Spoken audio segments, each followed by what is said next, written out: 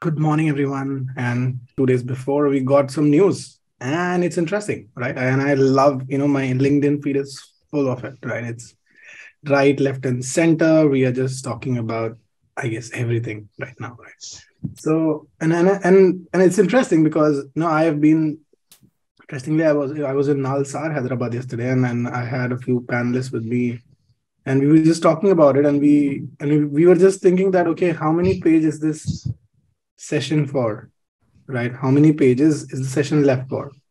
So the pages earlier there were like 150 pages to the law, and now there are like 24 pages to the law. 28. So yeah. So and, and and the question is like, you know, are we doing something right? Are we doing something wrong? Did the government do something that doesn't make sense? Right. So what happened? Right. And and that is something that you know we want to reach to conclusion right by the end of this. So yeah and that is something that you know goes on in my mind as well as i think a lot of people's mind. So just did a session just to make sure that you know we can kind of answer a few questions. But even before we start the session i know you are here and you have expectation right?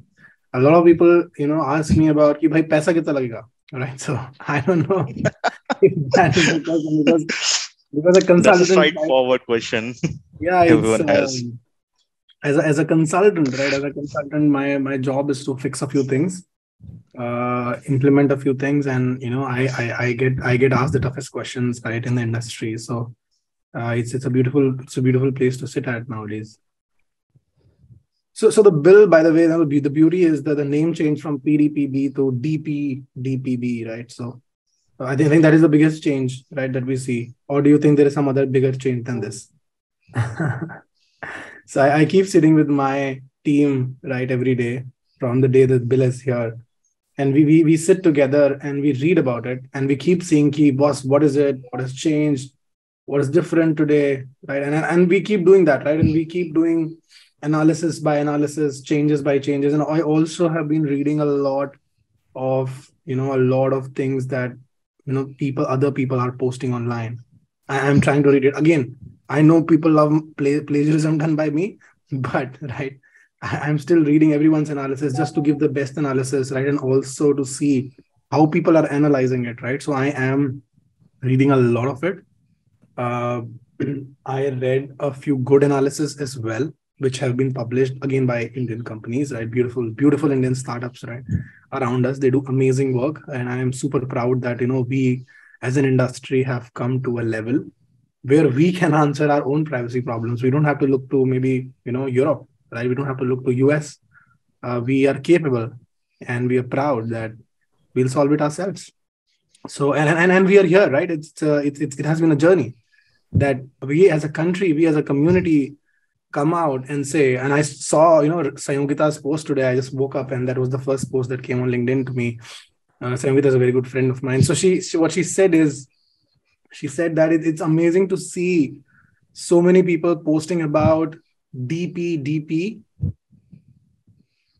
to see that everyone else in India is so ready that even if the law comes and there will be humongous shortage of people to comply to help comply, we are ready for it, right? And we are ready for it, and and that is something that you know that I woke up with today, right? Again, a lot of people would ask why did why did I open LinkedIn when I woke up? So that's a I think that that we should leave behind. But I'm just saying so hello Arvind and hello Shashikant. Yeah, good to see hey, you. Akarsh. Good morning. Hi Akarsh. So let's get going. And I see a lot of questions in Q&A. I'll take them up. So guys, please drop your questions in Q&A and we will be all set to answer you. So my name is Akarsh Singh. I'm your moderator today. And uh, I am the founder of Tsaaro. Also, I am CIPPE, CIPM, CIPD. Uh, I, I was one of the youngest FIPs, but I see that, you know, Tsaaro Academy produced more than me. So yeah, I also founded Tsaaro Academy. Uh, we what we do is we teach people privacy, right? And at Tsaaro, what we do is we implement privacy around. So if there is a tool that you think about implementing, if there is a strategy that you think about implementing, or you're just thinking about doing 100 PIAs, right? Or obviously a gap assessment on the current PDPB, right? Then Tsaaro is the company for you. And then with we we have two more speakers with us today, and uh, I will start with uh, director Tsaaro Shashikant Akhilesh, right, and also a trainer at Tsaaro Academy. So, so Shashikant, would you would you like to introduce yourself? Right. So, hi everyone. I work as director of privacy at Tsaaro and also a data privacy faculty at Tsaaro Academy. I've been training batches from like almost 20 plus batches till now. And I also implement privacy across multiple organizations, be it GDPR, be it Singapore PDPA, be it CCPA. I've done all of them. So that's a little about me. And uh, maybe Arvind, it's up to, over to you now. Yeah. Hey folks. Hi, uh, my name is Arvind. Uh, I'm presently um, a data privacy specialist at Recipe. Um, yes, so I have close to about 10 years of experience covering different uh, topics, but predominantly in the last four five years, uh, in data privacy right now. I'm a CIPPE and CIPM. Yeah, looking forward for a great session today. Yeah, and uh, and I, I think I think you I think today average age of I think the years of experience in privacy of panelists is definitely more than five years, which is you know, which is also interesting to see. Uh, data storage and management. I will take it up. So about Tsaaro, uh, Tsaaro again, we we ourselves are ISO 27001, 27701. We do that for our clients as well. We do some some work around privacy, gap assessments, GDPR, Singapore PDPA, CCPRA. Those are things that we do, but we'll talk about it later. Yeah. Disclaimer: This is not a session where the speakers are representing their companies also this is not a legal advice.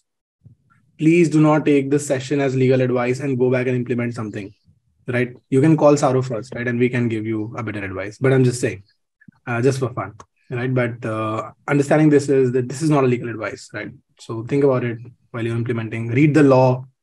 Why you know again why what applies to you is a question that if you ask everything the world will answer you you know if, if you if you keep asking why why would this apply? How would this apply?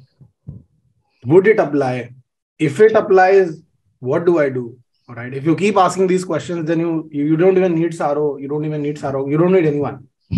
Right? If you if you again ask that question and you can say okay i have to do this right then you honestly you don't need anyone right? You you you you're good there you're more than good than you're good than enough right?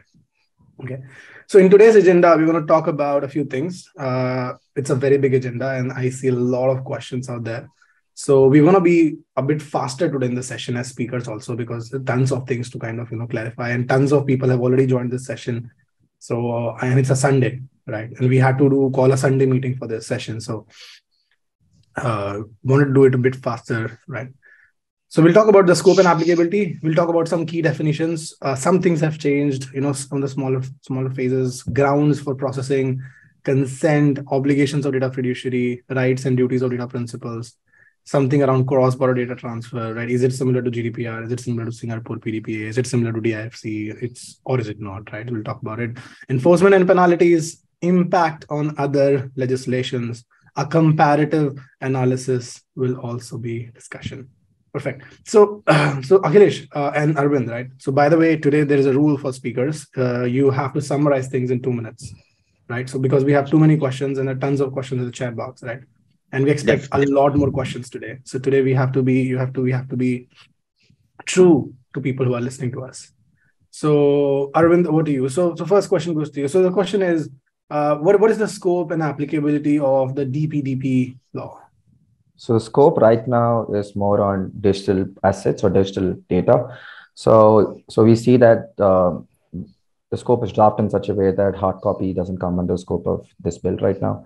It's it's all it's either semi-automated stuff, which is basically moved from hard copy to the to, to basically soft copy, or data which is already on hard copy, I mean soft copy itself, which is basically digital. So as you see here, there is no offline personal data. So uh, personal data processed for uh, personal or domestic purpose by an individual. This is very similar to how GDPR is drafted. And also records containing personal data that have existed, I mean, existed for more than 100 years. Yeah, I'm not sure why this came up, but yeah, something more than 100 years probably is also not part of this bill. So yeah, in general, so whatever is going to be as part of your digital assets is going to be part of the scope of this uh, this bill. Also, would you think? So I have a question for you a company like Iron Mountain, right? Who who would you know just be having this hard copies because they manage this hard copies, right? So so they they are exempt right now, if, if you're correct, right? So if they are moving that hard copies and they're filing it uh, into a soft copy, then it will come, then the, this bill does become applicable to them. But if they're still having it only as hard copies, no, then the bill wouldn't be applicable. Yeah. So basically, if I go to a bank and I fill a form, right, and the data is, we all know that it's going to get digitized and get into the server. So it's it applies, the law applies. Yes. But if just it's just the hard copy, then it won't apply. That's I think that's where we are setting the base, right? Yeah. Okay, perfect. We have a question. So Akhilesh, would you like to take this question? What is non-automated processing? Right. So non-automated data processing is we can just think from an automated data processing perspective. Anything that you're doing using digital means right? Automatically processing the data like storing the data in a digital form or processing the data viewing the data in digital assets right? That will be considered as automated. So anything that has to do with the physical copies that will come as non-automated processing right? Because it requires a manual effort it will be stored manually right? So that will be considered as a non-automated processing. So india like if you look at most of the government organizations we still rely on the physical copies, right? So most of them will be considered as a non-automated processing unless they scan the data and store it somewhere digitally. yeah, and uh, I think that's one of the fastest ones. I hope this answered you. We have like more than four questions here in the chat box. So uh, key definitions. So Akhilesh, what are the key definitions? And and I don't see definitions changing from the last PDPB to this DPDPB, but but what, what what's your take here? Yeah. Exactly. So they have been kept consistent with the last bill. They have defined data fiduciary in terms of data controller when we compare with GDPR. But one significant difference, if you look at GDPR and the Indian law, is that they have included something called a significant data fiduciary. Again, this is not something new. It was there in the last bill also. But they have included, they started using significant data fiduciary if we are processing large volumes of personal information. But interesting aspect, they defined data, but they did not call anything as a sensitive personal information, right? Which is a common call in your terms of your GDPR. But here they did not call anything sensitive personal information. So that is yeah, something again we need to, maybe yeah. maybe as a country wanted to give more focus on personal data. Like, right, exactly. So everything falls under that. So maybe so it might be a change. It what is, not be. What is, what is this definition of the new thing called harm, Akhilesh, right? And processing. So one interesting aspect, right? GDPR does not talk about the risk, but here they always talk about risk-based processing, right? So in India, they, they call it as a harm, right? Harm in relation to data principals. So anything because of the like the processing of data, right? Any effect on the data subject, especially to bodily harm or theft of identity, anything to towards to, to risk to the data subject that has been classified as harm. And processing? Processing, yeah. I guess the definition is pretty much similar in lines with what GDPR talks like, or, or even what it was in the previous bill. So there's not much change. I mean, it's very pretty much doing any kind of operation on particular uh, automated processing is what their spec- operation is what they're specifically mentioned here. So any operation which is an automated means come under the gambit of the definition of uh, processing. Yeah, and I think I think we have a very good question here, and I would like to definitely read it out before I move on. So again, Akhilesh or Arvind, whoever wants to take this up, right? So, so the question is, uh, but as we are heading towards digitization on, on a large scale, how do we predefine requirements to digitize the data or keep it in non-digitized platform? No, I can take that because um, in general, the way we are going right now is, I mean, everybody is going, everything is going digitized. I mean, there's hardly anything in not digitized format. And this is for, for some years right now. So the bill not covering non-digitized assets is still okay because uh, at some point the whole objective about this bill is to protect users' rights, right? I mean privacy rights. Now there is very little harm which can happen when it's in the hard copy. Uh, there can a lot more sharing can happen, a lot more disclosure can happen when it is in the digital format. So uh, this this bill moving towards that direction, uh, I, I have no, I mean I have no problems with that that way. Exactly. So whatever Arvind said is right, right? So adding on to that, if you look at even the government stance, everything they wanted in the form of digitization, right? Even the payments, even if you look at the processing that is happening at the government offices, they want to move to a digitized form. So as they are going that way, so this bill is also in the right direction, covering most of the digitalized assets. So I'm also okay with that because anyways, physical assets, the even the harm is comparatively less when compared to a digital data. Yeah. okay, three more definitions to go: loss, public interest, and gain. Right. So, Arvind, would you like to take them up? Yeah, I mean, uh, I mean, loss is basically here. It specifically says it refers to a loss of property or interruption of supply or services. So anything with this interruption of supply of services is basically a loss. Gain is, I mean, in, in, gain it could be in terms of could be terms of remuneration, could be in terms of monetary benefit or financial benefits, which an organization may get uh, by not following proper uh, properly the regulation is what gain gain is what here is defined as. So public interest is something on the interest of the of the nation, for the sovereignty and integrity of the of India. So that's what the public interest talks about, and we will we will discuss public interest in in the future slides and the other slides as well. Yeah. Yeah, and okay, so so, so I, think before we started the session, somebody asked the first question is what what what is it all about exemptions? Who's exempted? Who's not exempted? Right? uh, who we have to catch, uh, who the government will not catch, right? Who's is the government exempted, right? So last bill, you know, when it came, it had uh, it was under under a bit of scrutiny because of you know public organizations getting exempted from most of them, right? And if you look at any other privacy law, that is not happening. Obviously, I think when we're looking at some laws in uh, in like nearby countries, right, rather than as far as Europe or US, uh, public entities were being ex- exempted, and we're expecting them to be exempted. But in India, you know, there was a huge scrutiny that that should not happen, and, and the bill has changed, right? And the bill has changed with a lot of scrutiny as well. So, so Akhilesh, what do you think? Yeah, what do you think about these exemptions, right? And and and who's there, who's not there? Can you just you know tell us about it? Yeah. Right. So, as expected, the judicial has been exempted, right? Processing is necessary for the performance of any judicial activity.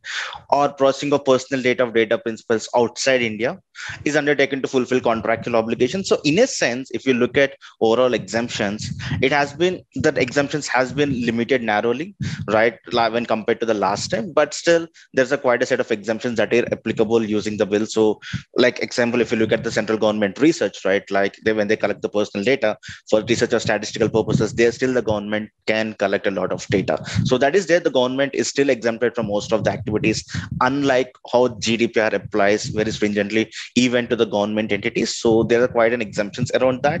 But compared to the last draft, this is much better in terms of the limitations that are there. Yeah, I mean, if mean, your take. Yeah, mm. just to just to add on, yeah, it's pretty much in line with what GDPR talks as well and the, the regulations, global regulations talk. So, when if, if you look at the first point with respect to processing necessary for enforcing a legal right or a claim, this is very much in line what what GDPR talks or the other regulation talks. You can't, uh, and with respect to processing necessary performance of a judicial uh, function. So, I mean, again, uh, these are some things. These exemptions are carefully drafted, and I feel again uh, agreeing to Akhilesh that this is very much how it has to be and how it, I mean, much better than what it was drafted in the previous bill. Yeah. So grounds for processing, right? So again, I, I want to set context, right? I want to set context for everyone. So grounds of processing are like legal basis of processing. How do you process? How do you process lawfully, right? How do you process lawfully? So basically, if you look at GDPR, you cannot process personal data, right? It's it's ex- you cannot process personal data. Step one, Step two, yes, you can, but if you can find a legal basis of processing, right? You can think about, okay, I took consent, I signed a contract. Is this for public interest? It is, there's a legal basis, there's a legitimate interest. That's GDPR for you, right? But let's talk about DPDPD, right? So Akhilesh, what's these grounds of processing you're talking about? Right. So if you look at the grounds of processing, one interesting aspect, right, when compared to the GDPR, one the general consent is available in terms of processing of personal data, but they've also added something called as a deemed consent, which is in line with US or Singapore PDPA kind of processing, where if the processing is expected by the data subject. Like when we share a data like for example when we are swiping a credit card right? We expect the organization to process the credit card information. So in those cases it is deemed that the data subject is already consenting to that. So we need not take an additional consent for that or provide an additional information around that. So that's an interesting take the government has taken like little deviation from gdpr and deemed consent was last time not clearly defined but this time they have provided additional details when the deemed consent can be taken so apart from that, if you look at the additional principles that are available in the, the legal basis that are available, that are pretty much in line with GDPR. So like, for example, if you take public interest or for compliance with judicial requirements or the legal requirements or the legal obligation that they provide and so that's those are the four processing that they have provided but interestingly they did not mention directly about the contract. They talked about the consent and the deemed consent but they did not talk about the contract. That yeah, is so contract is contract is not an option in terms of legal basis. Uh, we have hmm. we can either take consent or otherwise if consent is not there then because of any other law that we are processing the data for we are processing the data for it. So that is that is the kind of you know summary that we have for you. But i have a few more questions that i just want to quickly answer uh, is S- if SPI is Vishal has asked if SPI is not defined, then what do we do about it? See, all data is treated as PII and similar provisions, and there are provisions and requests in the law which says you have to protect data, right? Like Article 32 of GDPR. Uh, we also have a section here which says yes, uh, you have to keep data secure, right? So, so it gets covered in like in that full span, right? It is not going to get covered in a different different way at all. so Okay, so does processing include uh, conversion from offline to online? Because this act will also have a purpose. Okay, or is it considered as similar to collecting only? Uh, so Frenny has asked, does processing include conversion? See, Frenny, uh, see, it's interesting. It's a very great question. So somebody has asked, what will it be? Will it will we call processing? If somebody is giving us somebody standing in a bank and i'm signing a form and that form is going out to a digital team and digital team is scanning the form and you know extracting the data and data is going into my database uh, it will be processing right? So anything in processing that is getting to digitized form is processing in india. And okay let me repeat this for all of you right? Any and everything that is going to be digitized and going to be used for any purpose will be processing. Processing spans on everything. If there is PII, it's processing, right? Okay, perfect. So even before I start the consent session, right? Consent is is is the hot topic, right? The hot discussion of the market right now because if everything is about consent today, right? It's deemed consent as Akhilesh mentioned it. But I have a question that I wanted to answer. Okay, yeah, Sylvia also asked the question. So yeah, I, I knew this is you know this is gonna come. So but somebody has asked a very important question. And I, have been reading this question, unable to answer this till now. But yeah. So, okay. So I'll start with this question. Okay. So, does obtaining consent, right? Does obtaining consent, right? How do we notify the individual, right? Is it a notice or somebody sold your data to someone? right or you just got a notice so so what is this all about and this is i think we're going to spend some time here so let's start with you know initial questions to to my speakers, right? To the amazing folks here in the session, right? So so Arvind, right? Let's let's let's have let's ask you this, right? So so first of all, Arvind, what is consent? Right? What is consent? Consent is basically something where you are accepting for processing basis. No means a no, right? That's no means a no. Yeah, that's, that's exactly. yeah, but uh, but it's sometimes something where you can freely giving. Um, uh, where there is not too much pressure on you to, to say okay to processing your personal data. Where before that, prior to that, is obviously somebody asked about notice and some is notice given or required here. So uh, the law, I mean, again, the regulation or the draft bill clearly specifies that you need to have an itemized uh, notice that needs to be provided, and uh, an itemized notice is where basically you need to I mean, provide more information on how you're processing, why you're collecting, who are you as an organization, what are your rights and stuff like that and based on that um, then it is the i mean data's principal here uh, whose call it is about giving the consent. And based on that he can freely give the consent and at some point whenever he wants. And he can also revoke it at a given point of time uh, whenever he feels like. Yeah. Okay. So okay. So let's let's talk a bit more about who is a DPO in this case scenarios, right? And and should a DPO be a mandatory requirement in the law, in in this law? So Akhilesh, what what's your take on that? Right. So if you look at how the consent requirements are there we need to clearly give a privacy notice to them informing for what we are taking the consent. So in that privacy notice the law has mandated to provide the dpo details. So in case if they have any concerns or doubts they can reach out to the dpo so if you look at consent right it's a clear choice to the data subject. They should have an option of yes and no. It's right. It cannot be like forcefully asking them to agree or giving them an additional discount or manipulating them to provide yes, right? It has to be a clear choice for the data subject. So in order to do that, the DPO details should also be present so that the data subject can have the queries resolved. Uh, to answer your question, Akarsh, uh, is the DPO mandatory as per uh, the draft bill? I, uh, the DPO is not mandatory; it's only mandatory for uh, certain organizations, which is significant data fiduciaries. Now, obviously, the draft bill doesn't say who are those significant uh, data fiduciaries that has to be defined or that that call has to be taken care by the data protection board. Uh, but at this moment that's what the at least the draft bill says. But but we but we read about it but i also read about it. Right. see end of the day whatever call you take right a lot of times the question will come back to the company itself right? And i know how how it works right? I know how it works. What will happen is the government will say you know will come out with some guidelines and interestingly all the companies would be indian fortune 500 you know or big enough to process like insurance. You know you're looking at banks you're looking at credit card companies. Anybody who's processing data in terms of volume the first requirement of significant data fiduciary the first line of that statement says volume right? It will depend on volume right? So the people who are playing the volume game in india right? And not Tsaaro guys right? We are still marketing in the right fashion so just fyi so yeah but coming back to the point.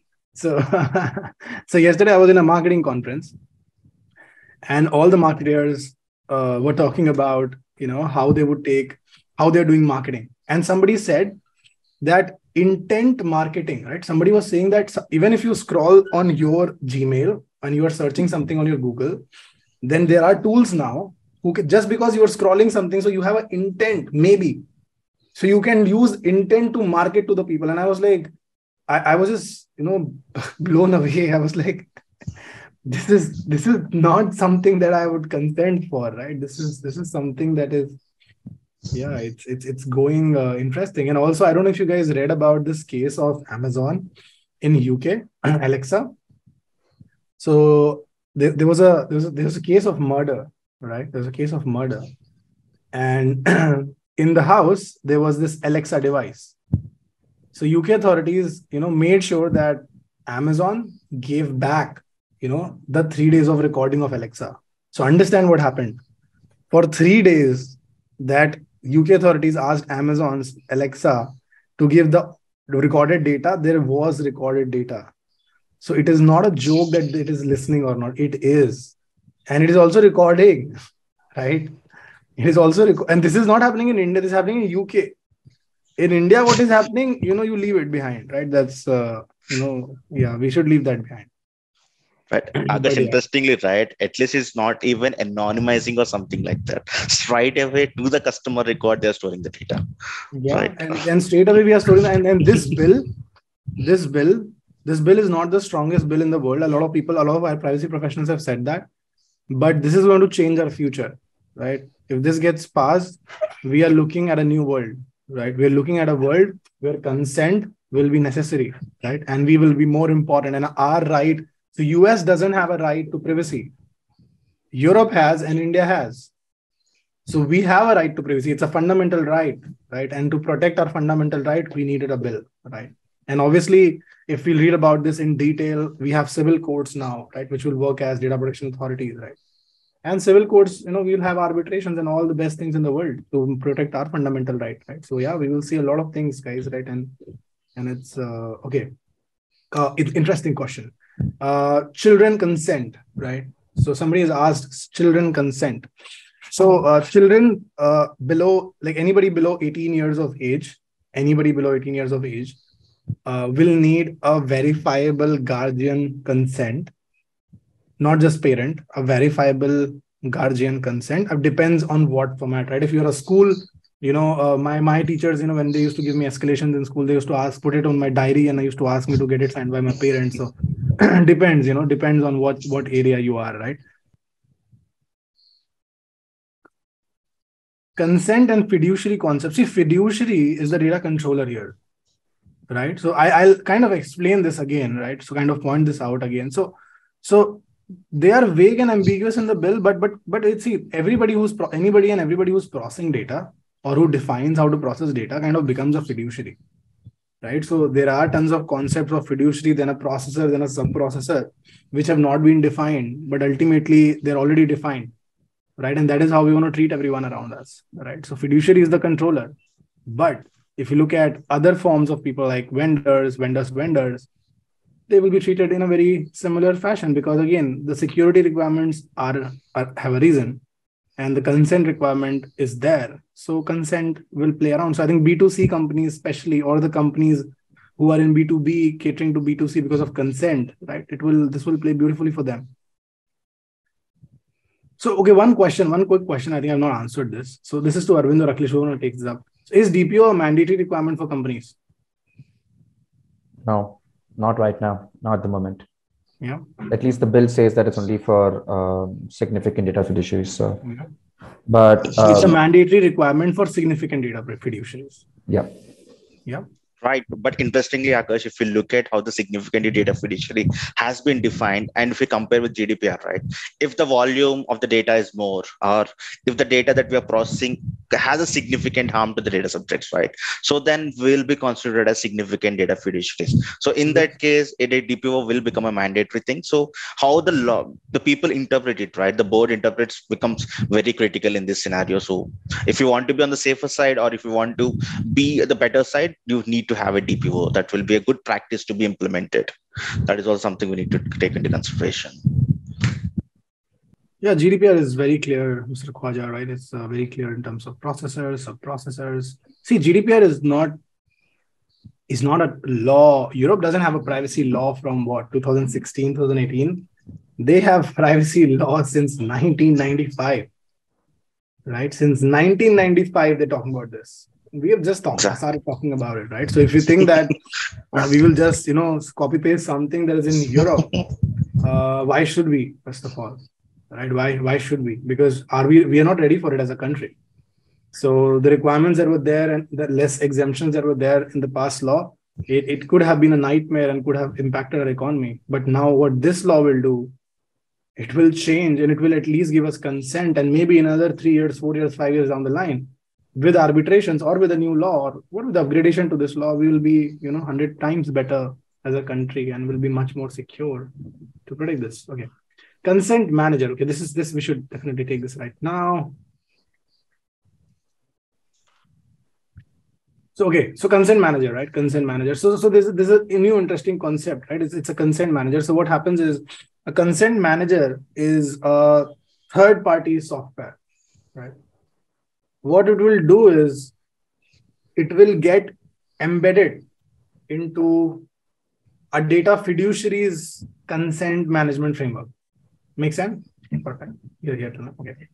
So what a consent manager will do, it, it will act as a tool and it will act as a third party between the customer and the fiduciary, the controller, uh, to kind of you know get that consent ball rolling. Right. That is the bit of concept of consent manager. So it's like a tool which the government has said that companies can take or cannot take, but we're still looking at some more guidances around that. But but that is a new concept that we have, right? So what I feel what is going to happen is uh, to get more assurance or consents, uh, people like significant data fiduciaries or you know smaller companies who people don't want to give data to will go for you know things like consent manager right in future right? And we'll have to see how that, rolls right? But obligations to data fiduciary right? So let's talk about the elephant in the room right? So okay so so arvind right? So so what what what's, what do you think are obligations right that are on data fiduciaries right. so arvind yeah so around uh, the obligations or data fiduciary is um, it's, it's basically talking around having security measures. You, you make sure that the data you hold are accurate and up to date from time to time. You take parental consent wherever there are children involved. You you're basically you're seizing proper when you see you cease to retain personal data when say the retention is no longer required for the purpose or if the regulatory requirement requires you to have such data for a longer period. So uh, is again uh, kind of in line with the other regulations out there, but um, not not too much surprises out here in general because uh, it is it is what is expected usually from a data fiduciary. Right. If you look at the obligations, right, they're pretty much similar to the obligations that have been defined under GDPR, right? Like implementing the security measures, technical and organizational measures, or maintaining the accuracy of data or the completeness of data. So they're pretty in line with what we have been doing in the privacy. So nothing, something extraordinary out of nowhere there, nothing is there. So it's pretty much in line with what we are de- dealing with privacy. Uh, how do you feel about doing away with data localization? So yeah, we we went away with that. So we're just gonna leave that. So so what happened is, uh, so data localization was a big issue last time, but uh, we I think have kind of you know moved away as a country from data localization as a hardcore requirement. But uh, Arvind and Shashikant, do you see anything more about data localization? I'm actually quite interested to see how this goes because there are other regulations, especially in the RBI sector. They they are asking data to be localized and kept in India.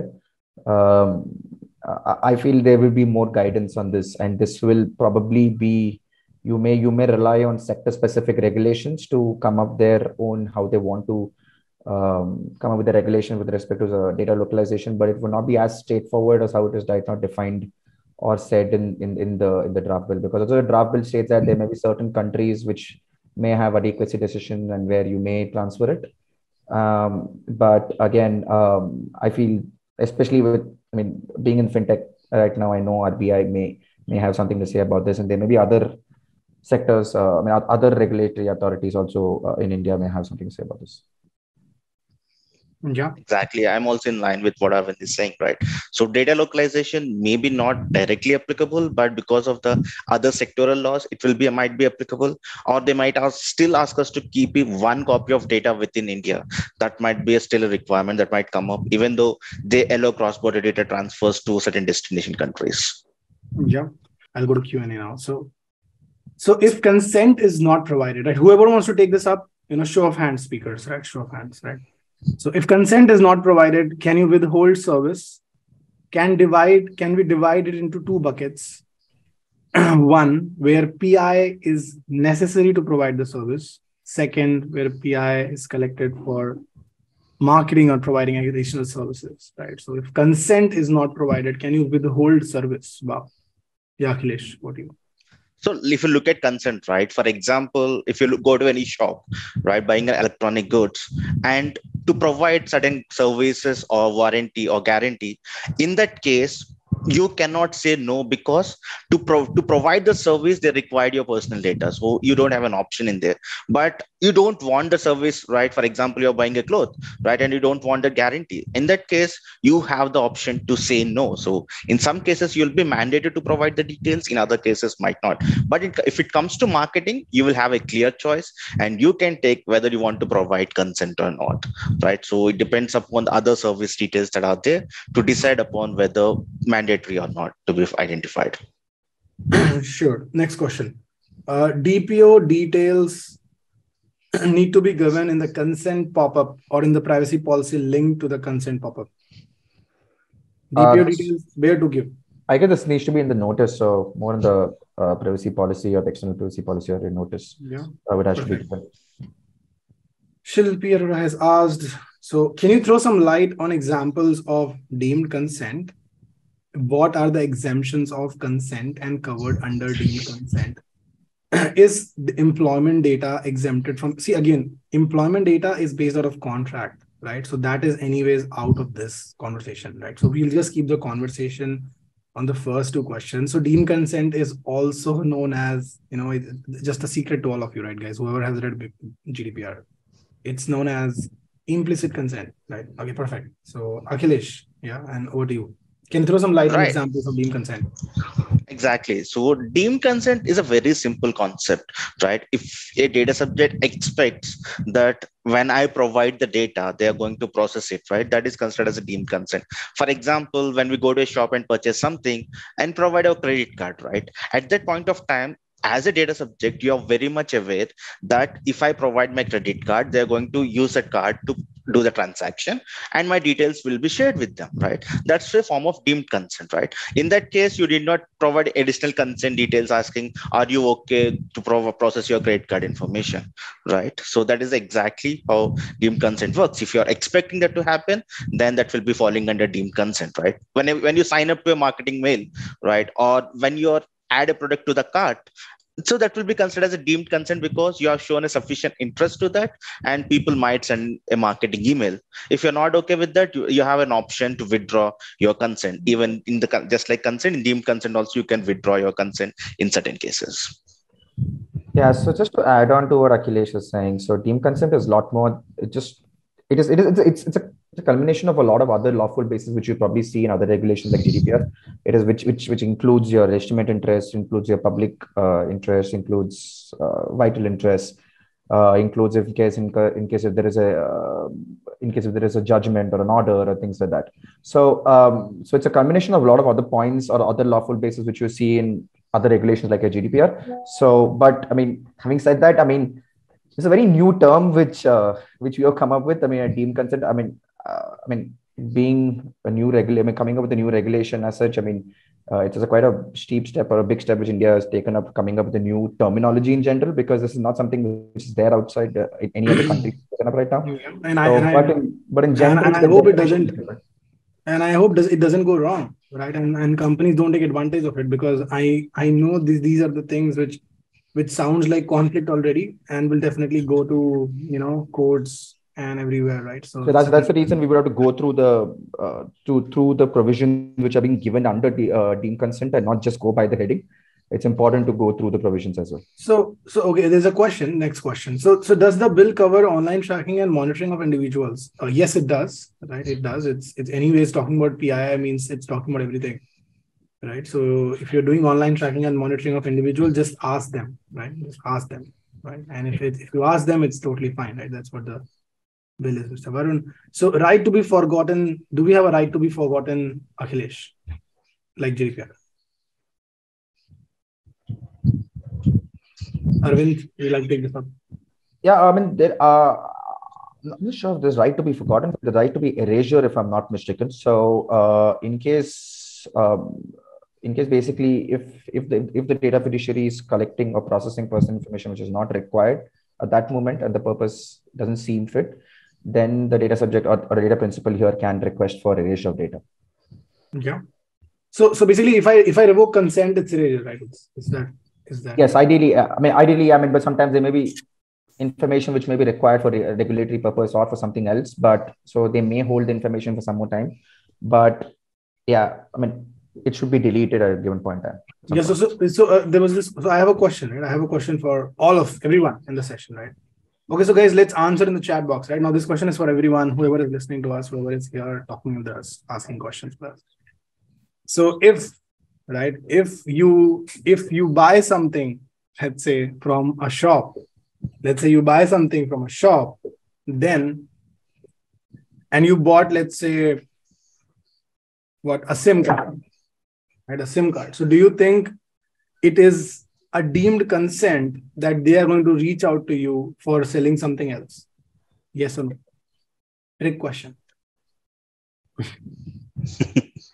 exactly. So, for example, if you purchase a SIM card, right, and let us say, and the organization wants to sell something like a caller tune or something additional as per their services they might be able to do that in some cases.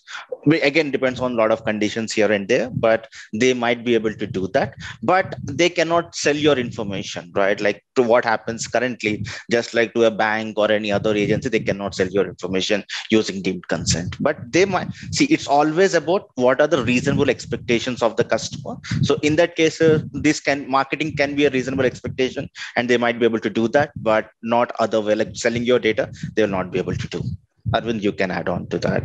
Yeah, I mean, yeah, I, I am, yeah, I totally agree to what Akhilesh said. I mean, this is pretty, I mean, this is a very tricky, tricky question. I understand, but yeah, I mean, at least GDPR at least answers this question. GDPR says that you can do it. um, I mean, I mean, this bill doesn't talk about it specifically, but I still feel a lot of people will use it and still use it for marketing to sell associated products, which may be close to the initial product you would have inquired about or purchased.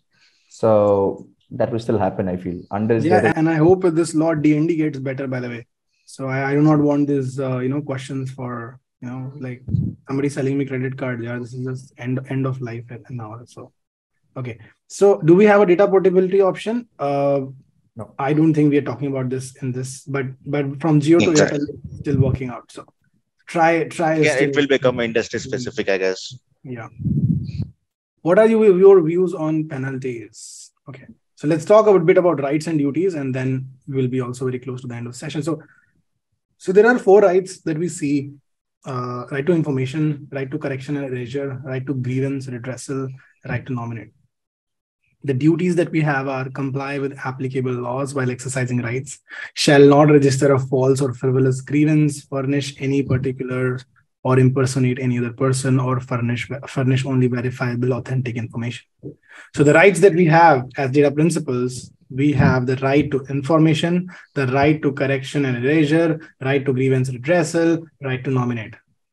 And the duties that we have is to obviously comply with applicable existing rights, shall not register a false or frivolous grievance, furnish any particulars, or impersonate any other person, uh, furnish only verifiable, authentic information. So, so cross-border transfers will also, you know, we, we have to see uh, adequacy decisions. So there is a discussion that is happening, you know, there's in the law as well that, you know, there will be countries which will be uh, safe countries, right? So Arvind and Akhilesh would like to take this up.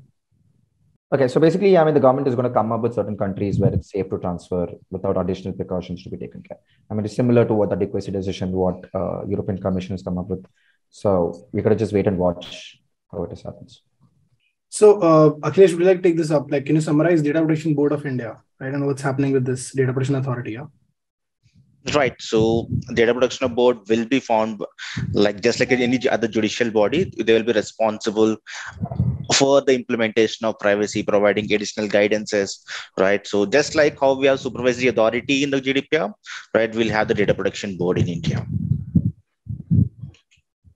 But we got to wait and watch. Is it going to be a legislative body or is it going to be an administrative body? Um, right. Hopefully, it's going to be a legislative body and not an administrative body because administrative body can be can can open to a lot of corruptions and stuff like that. So we got to wait and watch how this goes.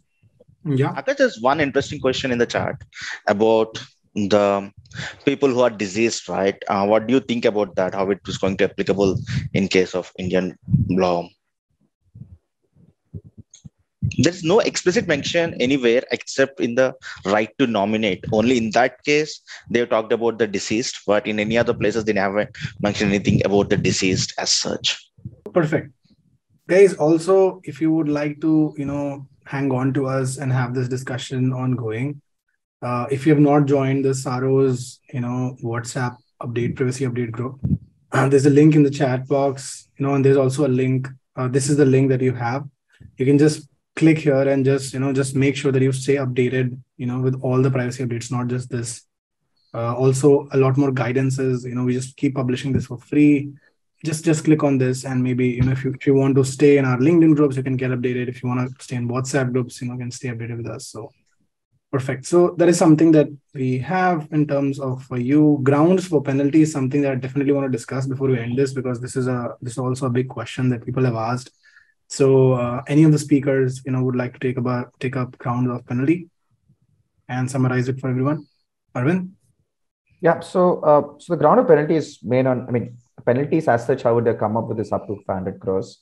Uh, the fine can go, I mean, it, it can go from 250, 200 crores, even, even less sometimes. But um, this can be good for some, some, some companies can be, can go, say, extremely wrong for certain companies because there will be small companies who may not be able to afford 200 to 500 crores.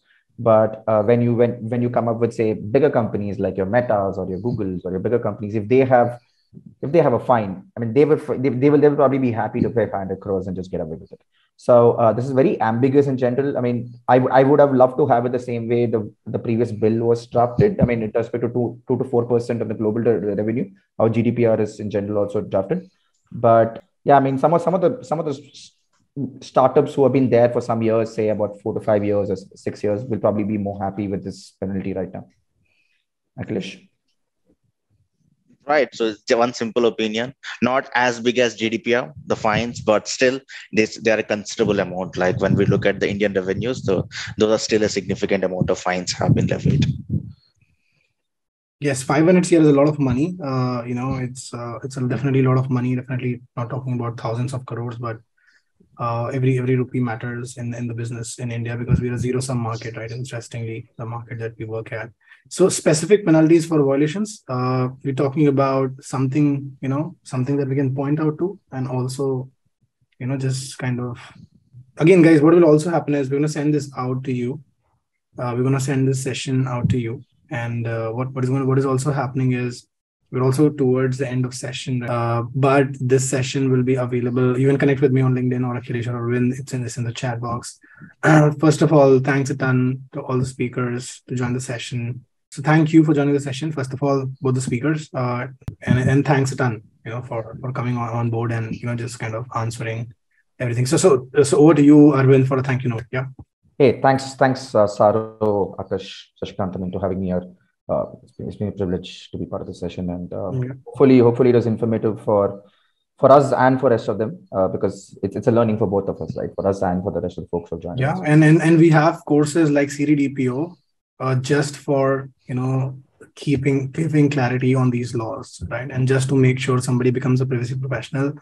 So Tsaaro Academy is the thing now, and if you want to learn something just it's just a click away, right? CDPO intermediate is something that is you know something highly affordable and can be taken up. Also, we have a session coming up for CDPO Foundation. It is for free, right? It is for free. It is there on Tsaaro Academy's webinar list.